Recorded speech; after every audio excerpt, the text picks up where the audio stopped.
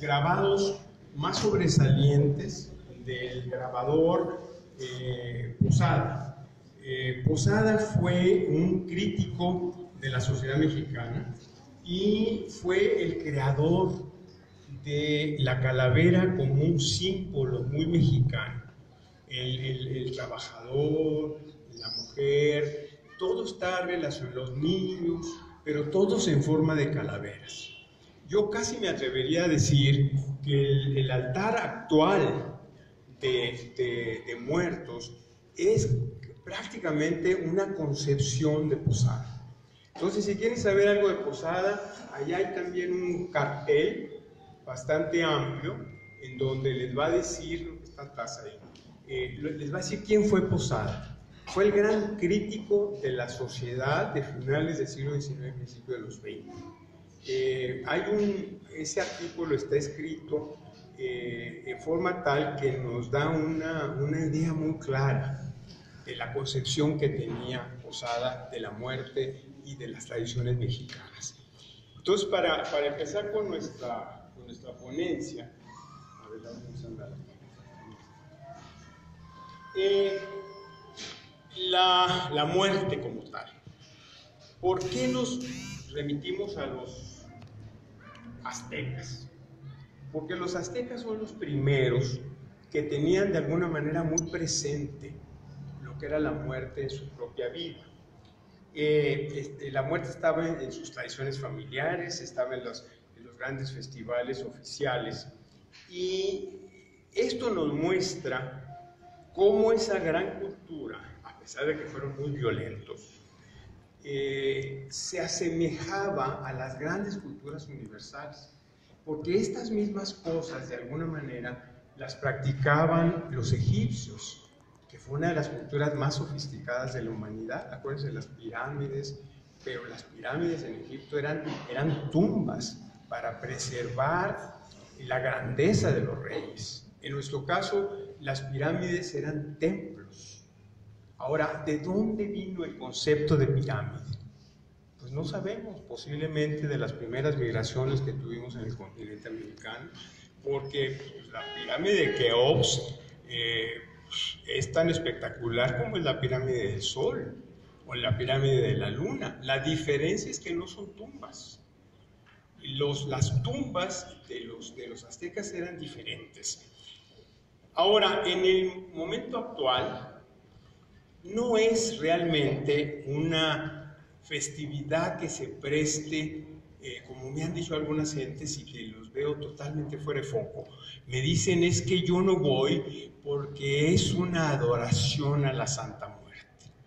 Ese es un cuento de los últimos años. Eso, esto no tiene nada que ver, no estamos adorando la muerte, no estamos exaltando la muerte, estamos reconociendo que nuestra vida, como cristianos, como católicos, como creyentes, tenemos siempre presente a la muerte, porque creemos que va a haber una nueva vida y que la, esa nueva vida va a empezarse con los méritos y las acciones que nosotros tengamos acá. Entonces, esto es más bien eh, una cosa solemne, pero jocosa. ¿Ok? No es para adorar, no es para rezar, no es para orar. Es simple y sencillamente reírnos a la mexicana de que la muerte es algo presente, pero vivamos el presente y no vivamos el futuro. En su momento, cuando llegue, pues ya hacer otra cosa. Eh, fíjense qué curioso, los aztecas eh, presentaban a la muerte con una calaca. Entonces, cuando los españoles vieron que en el culto había calacas, entonces se asustaron y dijeron, esto es diabólico. Y entonces prohibieron toda manifestación donde hubiera la representación de una calaca. Eh, prohibieron, por ejemplo, que se realizara en el noveno mes del calendario solar mexicano y que duraba todo el mes de agosto la celebración relacionada con la Entonces, fíjense cómo esta cuestión de tener calaveras, a mucha gente le ha asustado desde, desde el tiempo de los españoles. Y ahora te dicen, no, no, yo te agradezco la invitación, pero fíjate que yo, a mí no, yo no soy participante del culto a la muerte. Este no es un culto, esta es una remembranza histórica de una tradición mexicana. Ahora, si ustedes quieren tener su altar de muerto a su esposo, a su padre, a sus hijos, eh, lo pueden hacer. A lo mejor ahí rezarán, a lo mejor ahí tendrá una no va a estar lleno tal vez de calaveras, a lo mejor va a estar lleno de la comida que le gustaba, las fotografías de los momentos más felices. Pero en este caso tratamos de que sea algo neutro, un altar donde mostremos la creatividad del mexicano al concebir la muerte. Si ustedes se fijan, no hay ninguna calavera igual. Las que son iguales son las que están vestidas con trajes regionales que están en el primero, segundo, tercero, cuarto, en el quinto nivel. Ahora, ¿por qué hablo de los niveles? Porque los niveles son muy importantes para el caso del altar de muerte. Fíjense, por ejemplo, qué interesante. Los, ah, los pueblos originales de México no tenían ni concepto de infierno, ni concepto de demonio. Ellos tenían el concepto de que el, muerto ni iba al infierno, ni iba al cielo. El tipo de muerte que la persona tenía lo llevaba a un lugar diferente, todos querían ir. Era una cosa que se llamaba el Mitlán donde lo gobernaban dos dioses, que era un hombre y una esposa. El hombre se llamaba, a si lo puedo pronunciar, Mictlantecutli, y la mujer se llamaba Mictecacihuac. Si alguna le quiere poner un nombrecito de estos al próximo bebé que nazca, más que va a tener que practicarlo mucho porque son combinaciones de consonantes que en español nos cuesta mucho trabajo. Yo me traté de repetirlo varias veces para no tener que leerlo, pero no. Siempre me salió una cosa diferente. En fin, este, no existía tampoco entre los indígenas la idea del cielo ni del infierno. Entonces, fíjense qué interesante. Si te morías ahogado, ibas a un lugar que se llamaba Teyoca, que era el paraíso del dios de la lluvia, que era Tlaloc. Los que conocen la Ciudad de México tal vez recuerdan que la entrada al Museo Nacional de Antropología e Historia hay un Tlaloc, un Tlaloc casi el tamaño de este cuarto, que fue, fueron quién sabe cuántas toneladas y que fue muy difícil traerlo de donde se encontraba originalmente para ponerlo en el museo eh, de, antropología. Entonces, el que llegaba al, paraíso de Tlaloc pues era, era, muy interesante. ¿Por qué? Pues porque eran sociedades agrícolas. Entonces, imagínense ustedes que en el, lugar donde reinaba Tlaloc, pues había mucha agua, había muchos árboles, había mucho verdor, había mucho pasto para los pocos animales que tenían, porque no parece que las vacas, los toros, los caballos, las chivas, los puercos no existían en el, continente americano. Son todas importaciones del mundo europeo. Entonces, los, ah, los cuadrúpedos, por llamarles de alguna manera, eran muy escasos, porque no había ni burros. La gente caminaba grandes distancias. Había una clase especial que eran los guerreros los guerreros, cuando morían en combate, o aquellos que perdían el combate pero terminaban sacrificados por cualquiera de las etnias, y sacaban el corazón, etc. Entonces esos iban al paraíso que presidía el sol, que se llamaba el Omeyoca. Eh, y este lugar estaba presidido por Huitzilopochtli. Tal vez usted recuerda que en el sexto año que Huitzilopochtli era el dios de la guerra, que nos enseñaban y que este era la máxima deidad, porque eran tribus que tenían que vivir en conflicto permanente, porque si no, no tenían que comer. O sea, la guerra, las guerras floridas, por ejemplo, era la necesidad de conseguir gente, traerse los esclavos, sacrificarlos a las deidades de los, de los nahuas o aztecas, y entonces eh, podía uno morir. Y entonces, al morir en una guerra santa, según ellos, ellos iban a ese paraíso del sol y que recibía Huitzilopochtli en condiciones muy benéficas, un poco como el paraíso nuestro. Eh, el Mictlán, que era el más conocido de todos, era el lugar a donde se dirigían las almas que habían muerto de muerte natural, ni ahogados, ni sacrificados, ni muertos en el combate, etc. Una cosa que es muy tierna es que también los niños que morían tenían su lugar. No se mezclaba con los corruptos, se mezclaba solamente entre ellos, pero fíjense ustedes lo que dice. Dice, los niños muertos tenían su destino final en un lugar muy especial llamado, a ver si puedo, Chichihuahuauco. ¿Ok? Son una, dos, tres, cuatro, son seis sílabas. En Chichihuahuauco, dice, se encontraba un árbol de cuyas ramas goteaba leche para alimentar a los bebés. Dice cómo los aztecas ya tenían previsto que iban a comer. No solamente los adultos. Y, y fíjese, ¿le suena la palabra chichi? Que goteaba leche. Y ahí nos viene el vulgarismo que tenemos en español, que no tienen los españoles, ni los sudamericanos, para referirnos al seno materno que alimenta a los bebés. Es una palabra náhuatl. Fíjense, por ejemplo, este, también imitaban, sin saberlo, eh, ponerle al, fallecido, como lo hemos hecho aquí, objetos de uso diario para que no, no faltara, ¿no? O sea, eh, que tuviera, siempre comida, eh, que hubiera siempre agua. Algunos llegaban al extremo a poner una toallita porque iba a llegar muy cansado, muy sucio del viaje, para que se diera una limpiadita antes de, platicar con sus, ah, con sus descendientes. Bueno, este, la Iglesia Católica se preocupó mucho de los cadáveres, o sea, las calacas, se preocupó mucho de que no sabían si era un culto o una remembranza.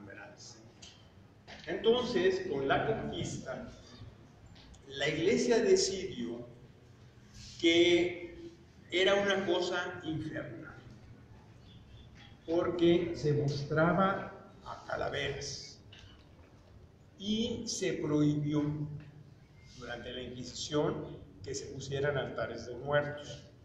Pero como la tradición era tan fuerte, era milenaria, tuvo que ir cediendo poco a poco.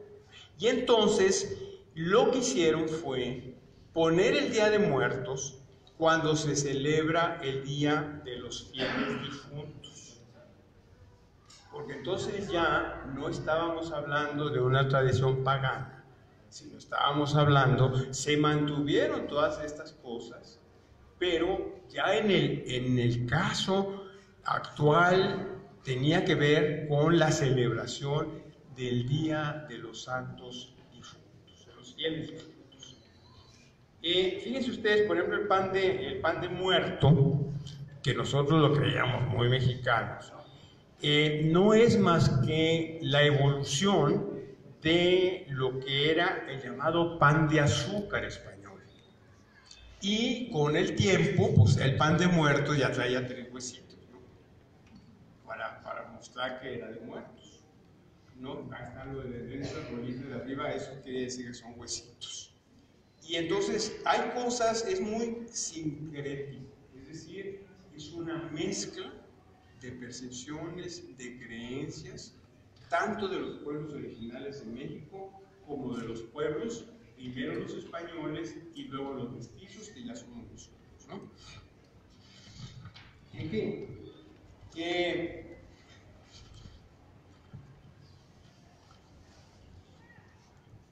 La tradición actual dice que hay que ponerle comida porque va a llegar sediento y tiene que echarse un vaso de agua o un café o posiblemente un tequila o un mezcal.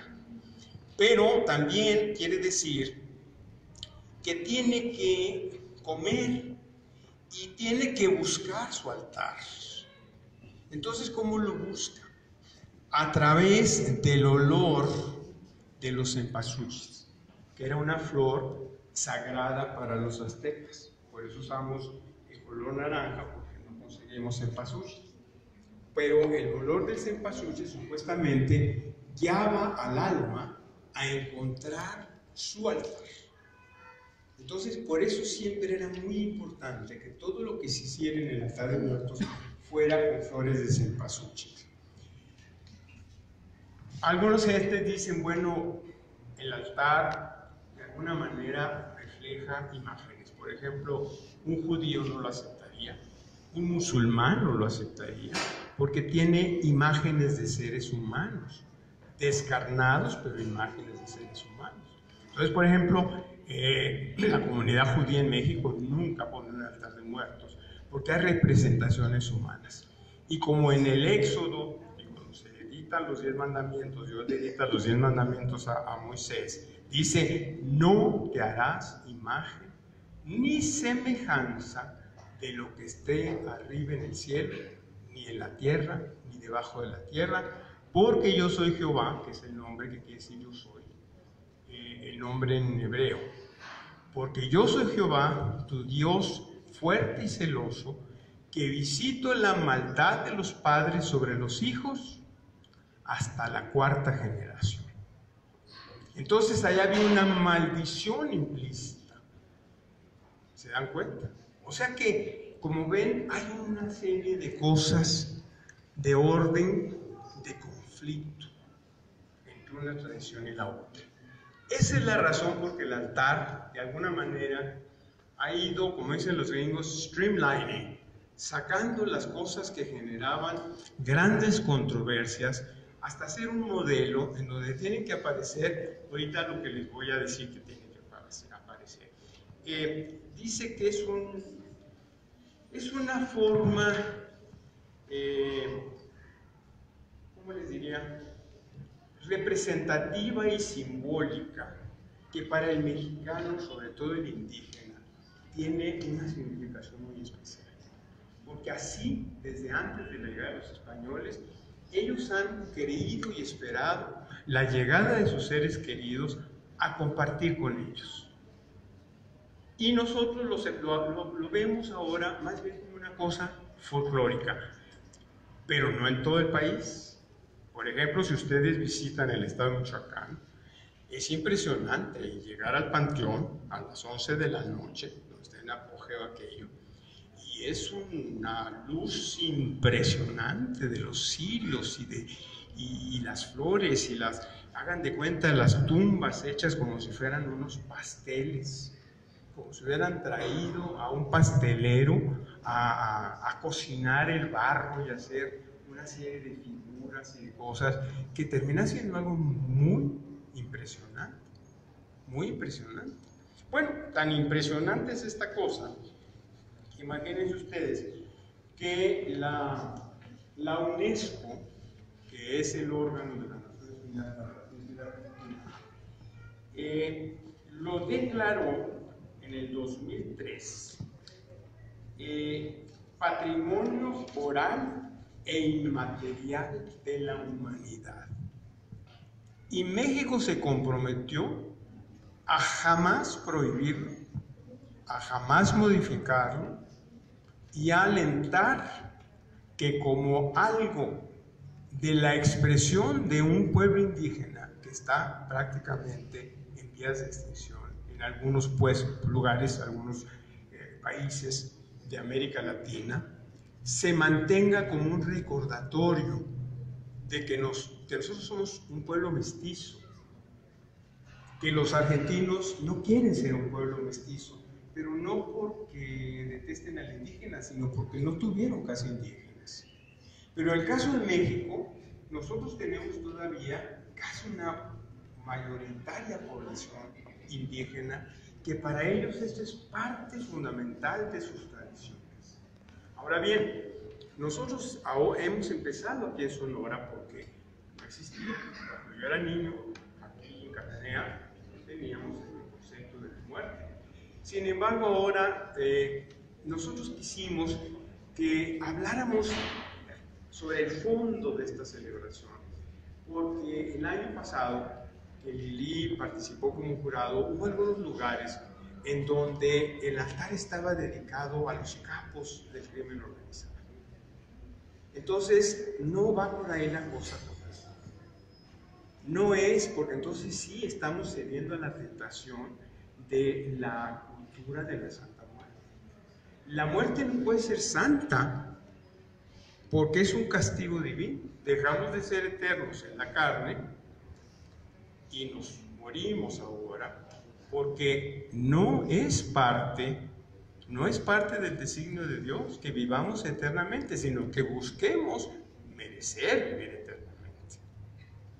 Entonces, apartemos todas estas cosas del, paganismo y concentrémonos estrictamente en una tradición cultural de remembranza. No tiene nada que ver con factores este, religiosos. Para los aztecas como para nosotros, eh, la muerte era parte de ese binomio vida y muerte. O sea, la vida es finita, la muerte infinita. Y ellos, como nosotros, lo tenían muy presente. Ese, ese viaje que hacia el Mictlán, eh, o reino de los muertos, de los muertos descarnados, era la palabra que no les gustaba a los españoles, terminó siendo para ellos el infierno, o sea, no era el cielo, era una concepción equivocada que decían, no, lo que ellos quieren, ellos creen que es el cielo, pero es el infierno, porque lo que están haciendo es están buscando los cadáveres, los cadáveres no tienen por qué buscarse, los cadáveres deben de quedarse en la Entonces, ahora pues hacemos las figuritas, los artesanos ganan mucho dinero haciendo las figuritas, todas las que tenemos ahí. Entonces les decía, la cosa del cielo y del infierno no era parte de la mentalidad indígena. Para ellos, la gente iba no por sus méritos a un lugar de deleite, iba conforme al tipo de muerte que había sufrido. Dice, por ejemplo, los ahogados iban a tocar el paraíso de Dios eh, los muertos en combate, los cautivos sacrificados y las mujeres que morían en el parto llegaban a Lomeyocan, que era el paraíso del sol, que lo presidía el propio Huitzilopochtli. Pero el Mictlán, que es el que más conocemos, yo tuve que hacer un poco de investigación acá, era solamente para los que morían de muerte natural.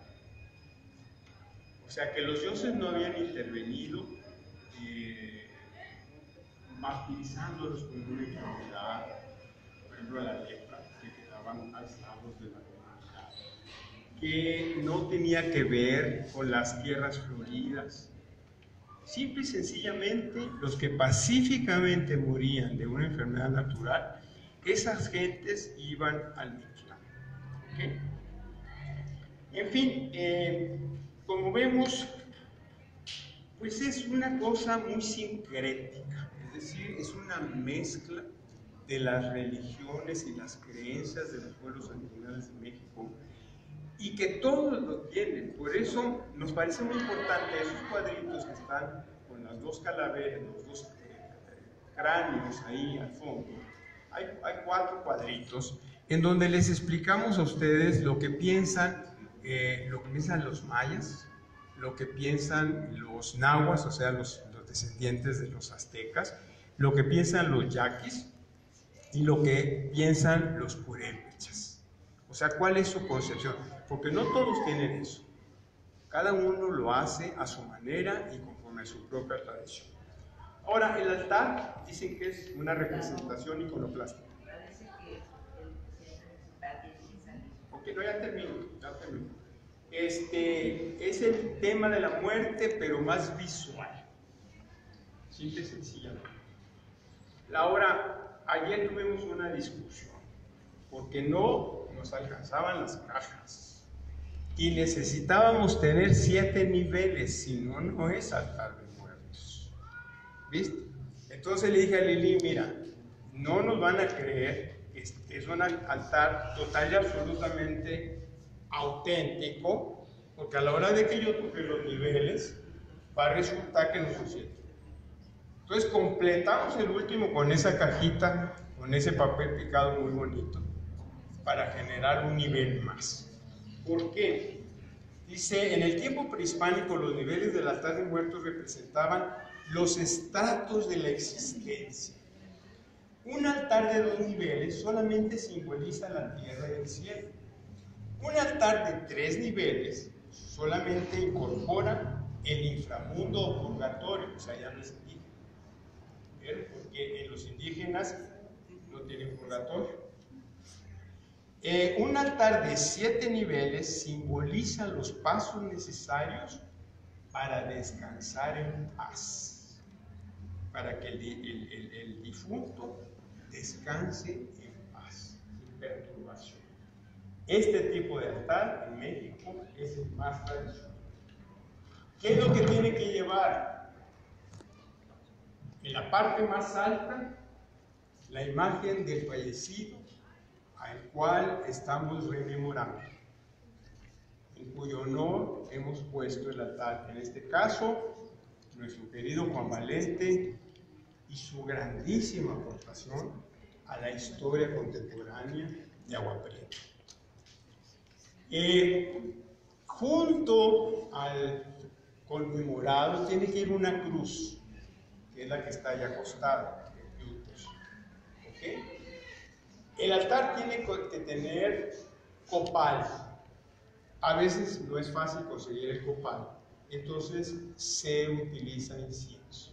Pero el incienso es una región europea.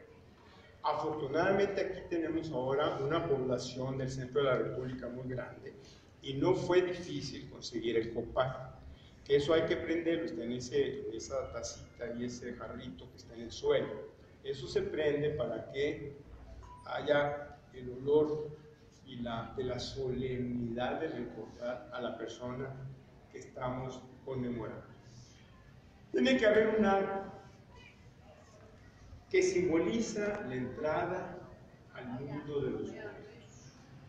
Tiene que haber vela, veladora, cirios porque son la luz que guía al difunto a llegar a la contemplación. Tiene que tener papel picado. Ustedes lo ven todos eso de colores que tienen estos ah, niveles. Porque el papel significa el viento. Y de alguna manera las ánimas son como el viento, no tienen sustancia. Y además de eso, representa la alegría del Día de los Muertos. Ya dejamos el mundo atrás. Ya estamos conformes con su partida. ¿Por qué? Pues porque ya estamos porque aquí. Tan sencillo como eso. Eh, el agua elemento fundamental porque refleja la pureza del alma y sirve además para que el espíritu del fallecido, después de su largo trayecto para venir acá, va a venir con mucha sed y tiene que mitigar su sed. Las flores, que ya les decía, el aroma es lo que los trae. Las calaveras, ¿por qué tanta calavera? Porque todos los personajes con cara de calavera. Porque nos recuerdan que la muerte está siempre presente en nuestras vidas. No sabemos que si aquí yo tomo el carro, voy en estrello y el año que entra yo voy a ser el invitado. Porque es algo siempre presente en nuestros casos.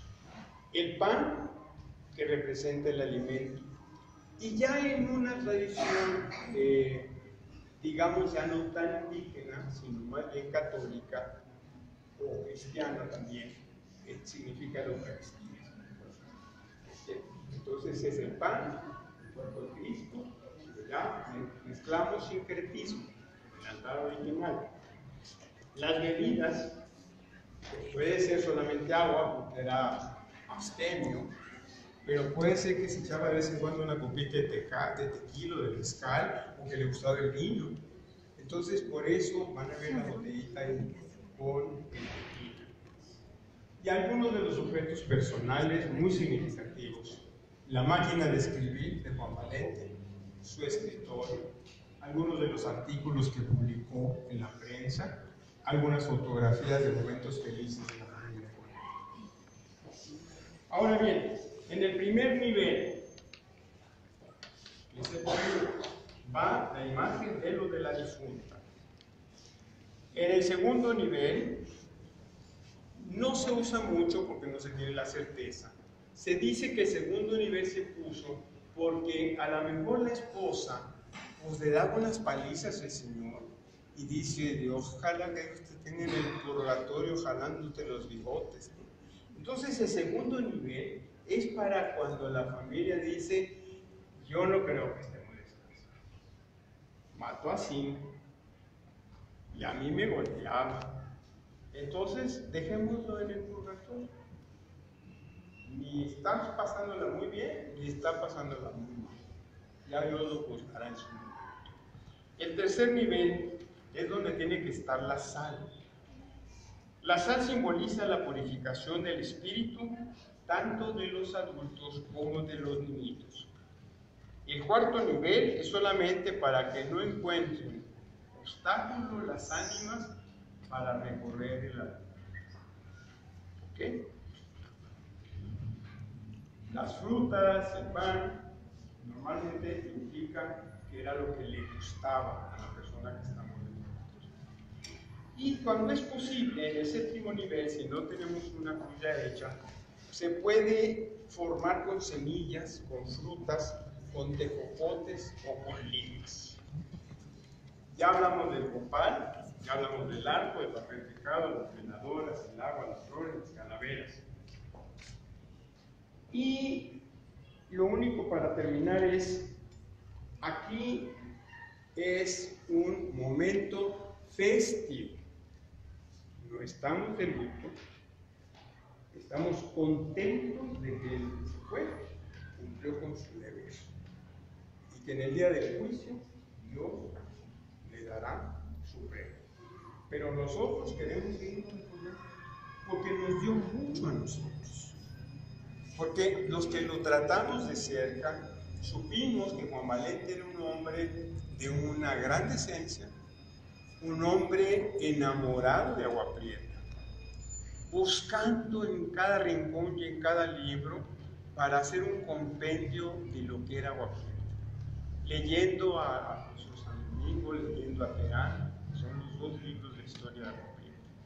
Es pues la fusión de ambas culturas, porque es un producto del altar que comunica, que evoca, evoca los elementos que le dieron origen y, lo que, y que lo traducen en una repetición y evocación constante del mundo original de los indígenas y también sincrético porque incorpora algunos elementos de la religión que trajeron los conquistadores. Si quieren leer mucho más, mucho más técnico, les recomiendo la revista Ciencia y el Hombre que, que publica la Universidad Veracruzana, donde tiene una serie de artículos muy interesantes sobre la muerte. Gracias por aguantarme y ojalá que hayan aprendido.